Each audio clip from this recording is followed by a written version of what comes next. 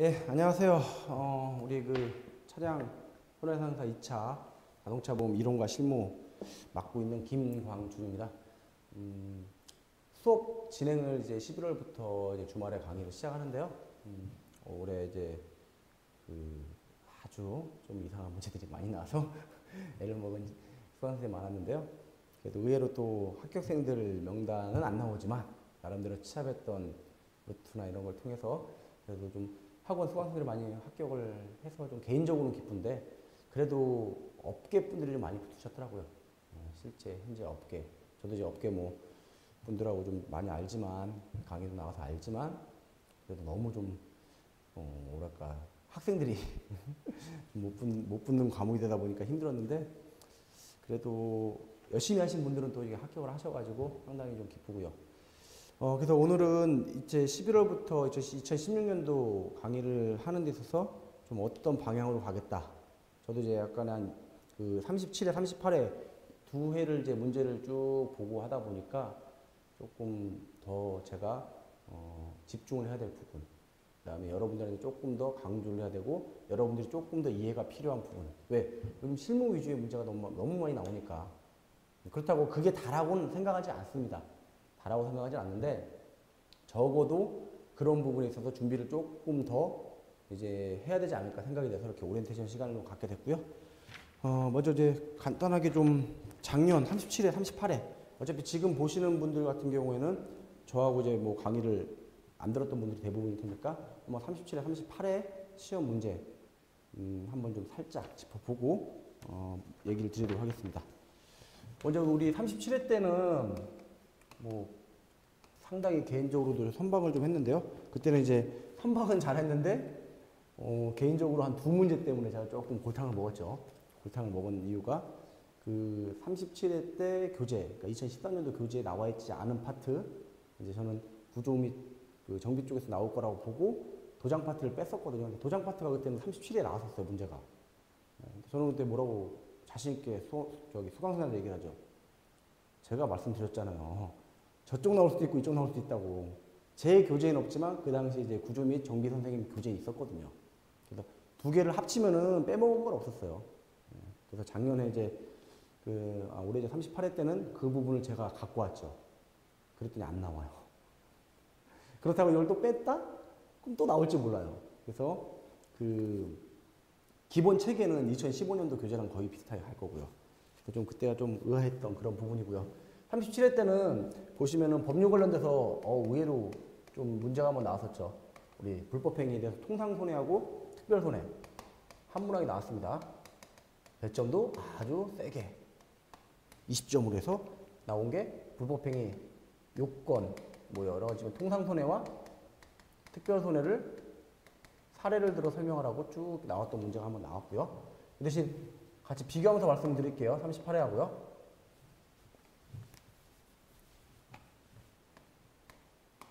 어차피 지금 듣는 분들은 37회, 38회 시험을 받거나 또는 다 받거나 안 받거나 하신 분들 계시니까 비교해서 말씀드리면 이때는 이 법률 관련 문제가 없었어요. 그러니까 제 교재로 치면 1장부터 4장까지 문제가 아예 안 나왔습니다. 예? 원래 잘 안 나오는 부분이에요. 37회 때가 조금 크게 나왔을 것 뿐이지 과거에 나왔을 때는 한 문항에 10점 정도 그 정도 문제가 좀 크게 나왔던 거예요. 37회 때는요. 이때는 뭐 저도 모의고사 1번 문항으로 어, 좀 예상했던 문제였는데 다행히 37회 때 나와서 조금 체면치를 했던 문제고요. 그리고 보면 이제 자동차 부 이론 파트 우리가 과거에는 36회 이전에는 손해사정 이론이라는 과목이 있었기 때문에 자동차 보험 쪽에서 그런 어떤 좀 깊게 들어간 이론은 안 나왔었거든요. 근데 이게 없어졌잖아요. 그러던 차체다 보니까 이쪽에는 뭐, 어, 두 문항이 나왔죠. 두 문항인데 한 문항은 이론이라고 보긴 그렇고요. 제가 보면 한 두 문항 정도에 30점 정도 보이는데 이 중에서 한 문항 20점은 완벽한 이론 문제가 맞아요. 보험자 대위. 2번 문제였죠. 보험자 대위 문제는 이론 확실한 보험 이론 문제였고요. 그다음에 약간 한 문항은 약관 쪽으로 가도 될 것 같은데 약관 관련된 부분 넘어가도 충분합니다. 보험 기간 문제가 나왔었죠. 이게 10점짜리 한번 나왔었습니다. 그래서 이 부분은 약관으로 가도 되고 이론적으로 가도 되는데 약관 쪽이 좀 더 가까울 수도 있고요. 그렇게 되면 여기는 수정을 한다면은 한 문항에 20점이 나왔었죠. 예. 그다음에 약관 관련돼서는 그 대신에 38회 때는 이론 관련된 문제가 안 나왔어요. 보험 이론 관련된 문제가 전혀 안 나왔습니다. 뭐 이론적으로 뭐 우리가 말하는 보험자 대위나 뭐 양도나 보지 의무, 통지 의무 어, 그런 부분 좀 그래도 나오지 않을까 했는데 안 나왔어요. 예. 안 나온 게 다행인지 불행인지 모르겠지만 안 나왔고 좀 그랬고 어, 약관 문제는 이때 그렇게 치면은 두 문항이 나왔습니다. 이 당시에 두 문항이 나와서 배점이 30점. 첫 번째는 보험기간 10점. 그리고 나온 게 이제 지급 기준에서 그 교환가액 문제.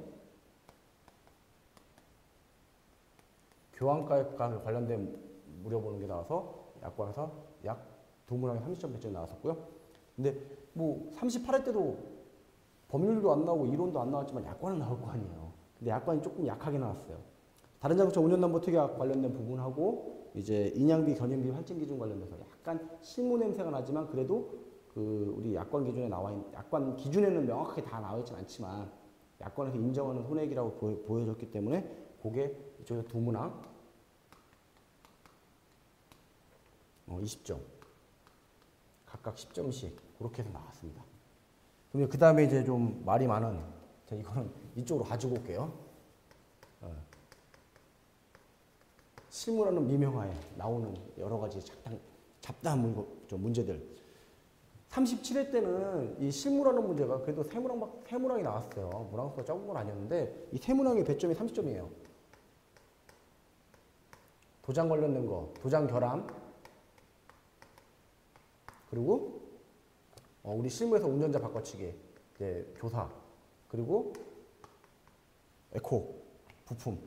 이거는 약, 그, 약관에서도 약간 다뤘던 부분이기 때문에 완벽하게 실무라고 하기 그런데 뭐 반반 정도 되는, 하지만 좀 실무 파트라고 볼 수 있는 문제가 이렇게 나왔거든요. 근데 38회 때는 무려 다섯 문항이 나왔어요. 다섯 문항 80점. 거의 도, 돌아버릴 정도 나왔죠. 문제가 나왔는데 그 문제들이 쟁점들이 많은 문제들이었어요. 조금씩 쟁점이 있던. 첫 번째, 이거는 빨간색으로 좀 했다. 빨간색으로. 2000, 그러니까 38회 때 문제는 저도 교재에도 실려있는데 화재 사고인데 우리 자동차 화재인데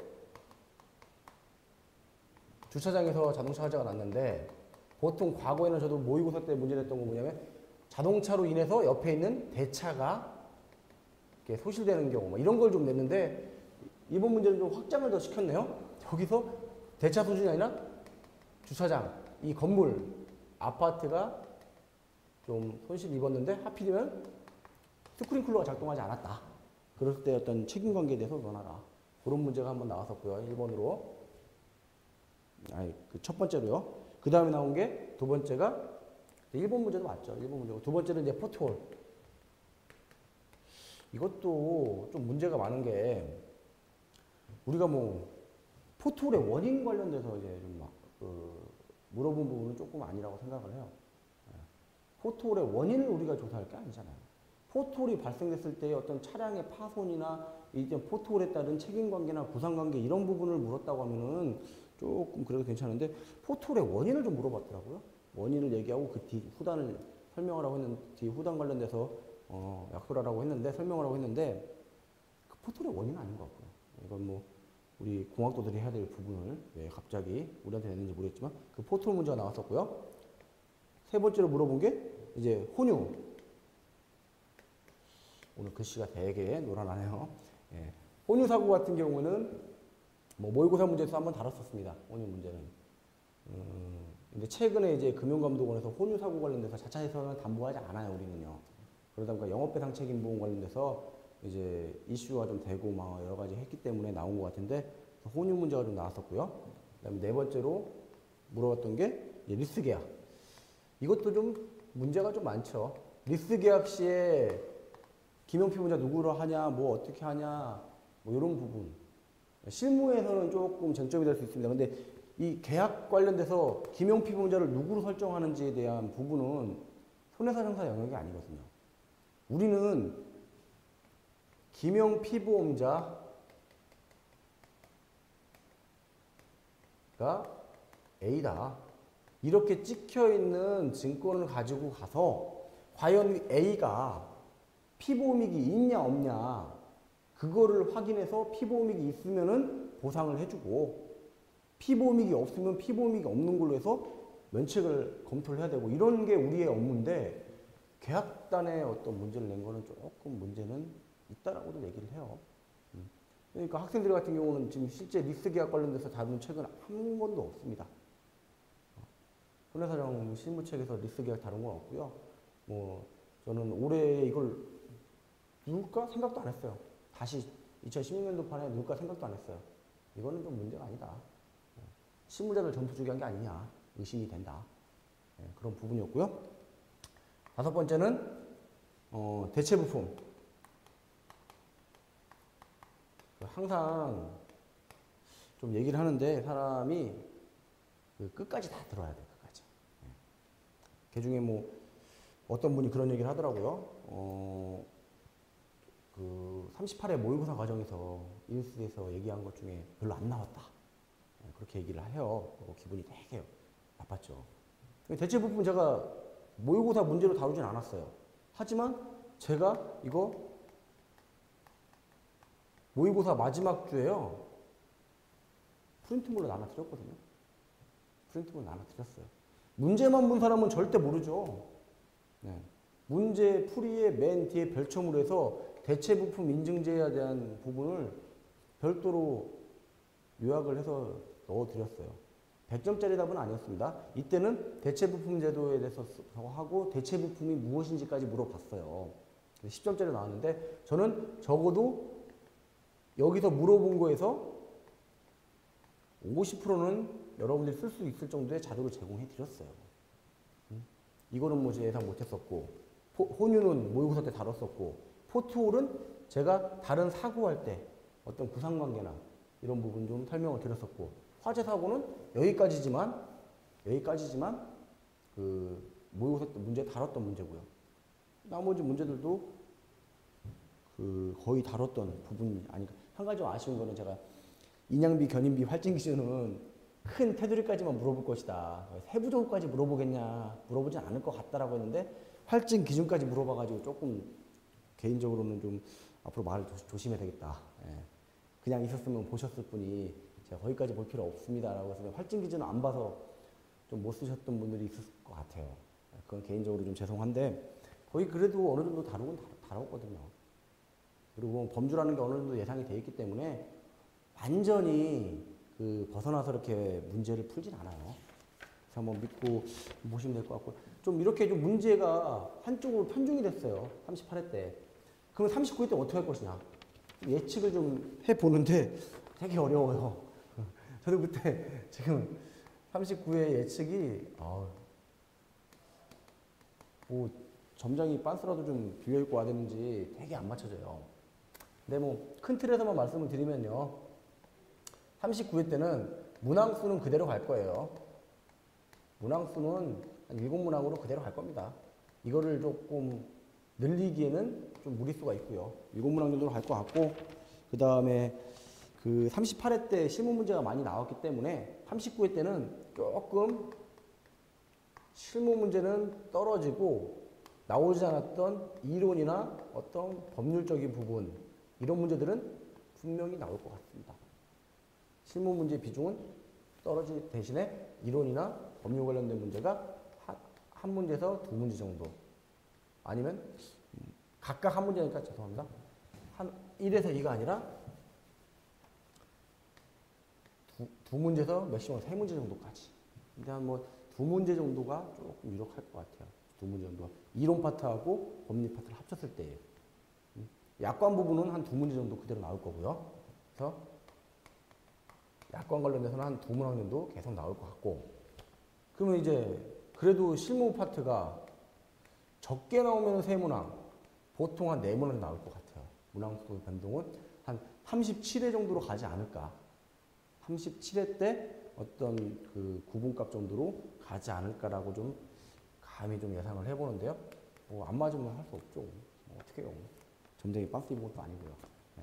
근데 이제 개인적으로 생각할 때 이 실무 파트가 조금 이슈가 됐던 걸 좀 많이 다뤘어요. 앞에서요. 38회 때도 다뤘고 했기 때문에 그러면 궁극적으로 어떻게 할 것이냐. 지금 손해상사 시험의 대세가 계산 문제거든요. 예. 특히 신체 같은 경우 지금 계산에 극치를 달렸어요. 일곱 문제 중에 네 문제가 뭐 계산 문제 나온 데도 있고요. 예, 많이 나오니까 우리도 과거에 한 문제씩 계산 문제가 나왔었거든요. 그렇게 복잡한 계산 문제는 아니지만 계산 문제 형태로 조금 변, 변경이 되지 않을까 예상을 좀 하고요. 그리고 나서 그 조금 한 단계 더 건너 간다면은 면부채. 제가 매년 강의할 때 이걸 좀 많이 강조를 해요. 면부책 관련돼서요. 면부책을 알면은 뭐 다른 부분의 어떤 지역적인 거 몰라도 여러분들이 실무할 때도 많이 써먹거든요.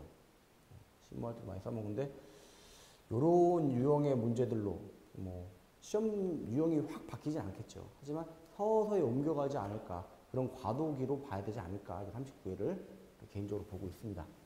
그래서 여러분들이 그 준비하실 때에 어 뭐 제가 이렇게 문항은 이렇고 거 이럴 것 같고 뭐 실무는 이럴 것 같습니다. 예측일 뿐이에요. 네, 예측일 뿐이면 여기에 맞춰서 어느 정도 저는 힘을 주고 강의를 하겠다는 겁니다. 강의를 하겠다는 거고요. 어, 교재는 오늘 진짜 따끈따끈하게 오늘 나왔습니다. 예, 표지가 조금 바뀌었네요. 작년 거하고. 근데 혹시라도 2015년도 거 갖고 계신 분들은요, 굳이 뭐 경제적으로 부담이 된다면 사지 않으셔도 됩니다. 예, 왜 그런 얘기냐 하면은 큰 틀에서 바뀐 건 없어요. 일부 좀 추가된 부분이 있고요. 어, 일부 추가된 부분은 뭐그 얘기하시면은 강의 듣는 분들 같은 경우 제가 별도로 출력을 해서 드리든지 보완을 해드릴 거고요. 그리고 좀 그동안 좀 많이 바뀐 부분 같은 경우 책에 보면은 편집도 똑같아요. 작년 거랑 편집도 똑같이 했고요. 단지 이제 공도덕이 말을 다 뺐습니다. 무슨 얘기냐? 꼭 그런 용어가 있어야 될 거 빼놓고 뭐 예를 들어서 아니한다 이런 표현이 있거든요 법률 용어에. 근데 그 교재에 그 단어가 꼭 들어가야 될 자리가 아니면은 않는다 이렇게 언어를 여러분들이 읽었을 때에 쉽게 이해하도록 다 좀 최대한 바꿨습니다. 네, 그거 바꾸는데 좀 시간이 많이 걸렸을 뿐이고요. 그리고 아직 그 약관 개정되지 않았기 때문에 그 2015년도 10월 1일 기준, 10월 1일, 1일 기준 정도 약관으로 했고요. 어, 보통 약관이야 뭐 그전 거니까. 근데 개별 약관 같은 경우 10월 1일 정도 했습니다. 그리고 이거는 뭐 제가 근무하는 회사 약관을 기준 했고요. 근데 거의 대동소이예요. 대부분 회사들이요. 그리고 혹시라도 11월 달 강의 때는 약관이 개정이 안 됩니다. 100%그 장담할 수 있는 부분인데 어차피 지금 개정한다고 해도 내년 1월 1일자일 거예요. 아니 내년 4월 1일자 이런 식으로 가기 때문에 하지만 그 지금 약관 관련돼서 지금 개정 계속 얘기가 나오고 있잖아요. 그렇기 때문에 개정은 될 거예요. 저희가 볼 때 예상할 때 내년 시험 보기 전에는 개정이 돼요. 제가 개, 예, 개인적으로 볼 때는요. 근데 그러면 어떻게 할 것이냐? 어, 그러면 그때 이 책 버려야 됩니까? 전혀 그러지 않고요. 그때 되면은 그 약관 개정 부분과 관련된 페이지는 제가 별도로 편집해서 우리 학원 자료실에다 올려놓겠습니다.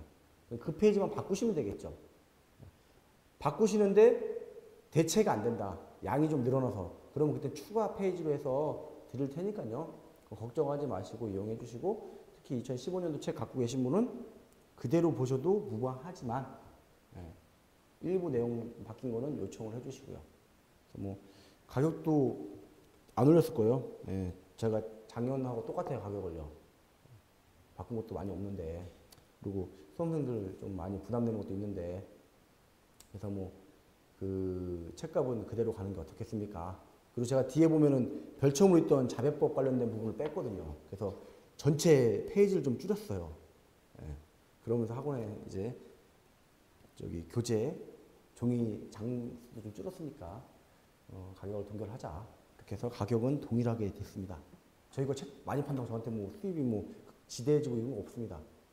예, 말씀드리면 작년 거 보면 조금 답답한 거는 없지 않아 있을 겁니다. 답답한 거는. 하지만 보시는데 크게 차이는 없어요. 페이지 조금 차이 정도. 몇 페이지 앞이냐 뒤냐 요 차이만 있지 그 페이지가 왔다 갔다 하게 편집하진 않았다는 얘기예요.